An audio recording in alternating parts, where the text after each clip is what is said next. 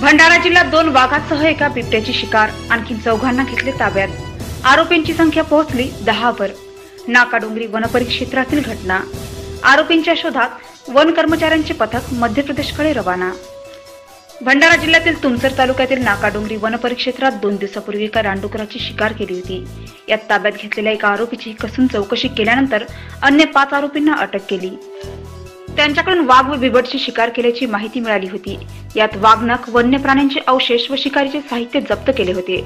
मात्र आता या शिकाऱ्यांनी आणखीन एका वाघाला ठार मारल्याची धक्कादायक माहिती दिली असून शिकारीत एका बिबट्यासह ठार मारलेल्या वाघांची संख्या आता दोनवर पोहोचली आहे. या प्रकरणी आणखी चार संशयित आरोपींना सोमवारी रात्री उशिरा ताब्यात घेतले असून आरोपींची संख्या आता दहावर पोहोचली आहे. हे दोन्ही वाघ मागील चार महिन्यात शिकाऱ्यांनी ठार मारल्याची माहिती पुढे आली आहे.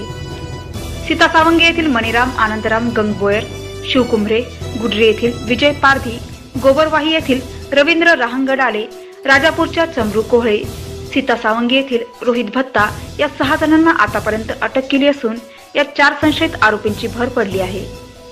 यात सीता सावंगे येथील दोन चुलाड येथील एकासह आणखीन एक अशा चार आरोपींना ताब्यात घेऊन मंगळवारला त्यांची दिवसभर कसून चौकशी केली.